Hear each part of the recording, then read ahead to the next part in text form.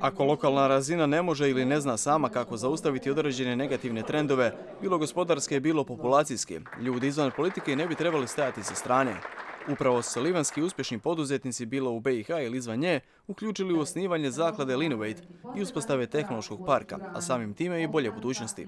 Prvo i osnovno znači ovo smo napravili zato što ne postoji takvo okruženje.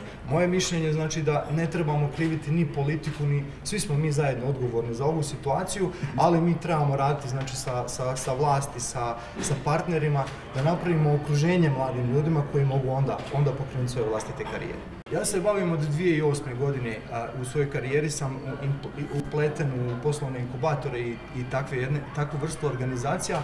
Mi smo danas ušli u fazu 2 sa otvaranjem tehnološkog parka u Livnu i ja se nadam da će ovo potaknuti druge gradove da na, na taj način da to proširimo onaj, po cijeloj državi.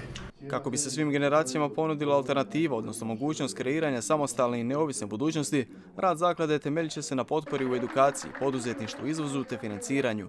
Jedan od glavnih početnih donatora je mladi Mate Rimac koji želi ovaj grad i regiju podignuti zna mnogih ljestvica. Za sad je to samo znači opremanje prostora za nekih 30 radnih mjesta koje možemo proširiti do 100 radnih mjesta, e, znači to je nekih 30 tisuća eura sad bilo za početak, samo za prvi korak, ali čim krenu e, poduzetnički projekti se prijavljivati i kad njih krenemo e, financirati, to će biti značajnija sredstva od mene, ali radim na tome i da drugi poduzetnice se pridruže i daju svoja sredstva, ali na cilj Linoveta je isto povezati poduzetnike sa mogućnosti financiranja, znači imamo na primjer ovdje danas USAID, imamo švicarsku fondaciju koja se bavi financiranjem sličnih stvari, znači želimo isto pomoć lokalnim poduzetnicima da se spoje s njima i aplicirati se na te fondove, ali i mi ćemo privatno ja osobno znači financirati one najbolje projekte. Ovo što ja radim, e, kad sam krenuo to raditi u Zagrebu, e, su mi profesori sa fakulteta strojarstva rekli nemoguće raditi auto u Hrvatskoj, e, odustani što prije, to će manje ljudi propast tobom. I kad dođu ljudi iz svijeta kod nas, ne mogu da smo to radili u Hrvatskoj. I praktički to bilo nemoguće u Hrvatskoj raditi, ali evo mi smo to nekako jedva jedvice uspjeli da dođemo do tog gdje smo danas u Zagrebu.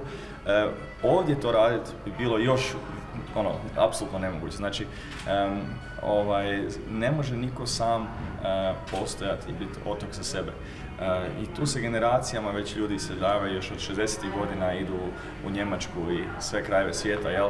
I jednostavno je tako tradicionalan kraj gdje se ljudi iseljavaju i rade većinom ipak još uvijek jednostavne poslove vani i ne mogu to prenijeti, to svoje znanje natrag kod sebe doma jer nije prenosivo. Ako radiš na Baušti ili Frankfurtu, teško da možeš pokrenuti takvu istu firmu u, u svom kraju. I zato mislim da je važno da dijaspora koja je ostvarila neke sofisticiranije poslove, da ne samo ulože novce, nego vrlo važno i mentoriranje i davanje savjeta onima koji svoj projekte hoće pokrenuti Puna dvorana je ugledni gosti od pokretača ove priče do ljudi koji su došli iznijeti svoje iskustvo i viđenje situacije. Investitori danas ne biraju mjesta prema simpatijama, već prema učinkovitosti. Stoga je važno shvatiti da nešto moramo i ponuditi. Pa možda nije baš e, točno da nije bilo pokušaja otvaranja tvrtki u, u Livnu. Bilo je, ali ima i neuspješnih pokušaja. Recimo na Begovač.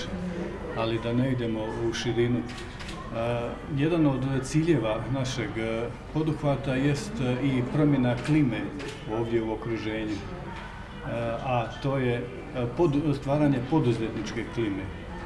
Potrebno je i promijeniti malo svijest mladih da idu ka otvaranju, da se nauče poduzetništvu. Da poduzetništvo ne znači samo biti uspješan kao što je Mate uspješan, poduzetništvo znači pokušati poduzeti nešto. Pa ako se jednom ne uspije, pa pokušati opet, pa i treći put, četvrti put. A e, ovdje kod nas ipak vlada jedan negativistički pogled. On e, ako ne uspije, e onda će mu biti e, neugodno. Gradonačelnik Livna Luka Čelan obećao je pomoć u ovom projektu, kazavši kako će ta pomoć biti i financijska. Evo, moram reći da imam pozitivnih stvari za nje vrijeme u Livnu, da je, kao što znate, nedavno je belgijska tvrtka jedna otvorila e, tvornicu za proizvodnju pruga i postoje još inicijative od nekih stranih vlagača. Nadam se da će biti još tih projekata, prije svega mislim na proizvodnju, jer čini mi se da je to osnova svega i razvoja gospodarstva.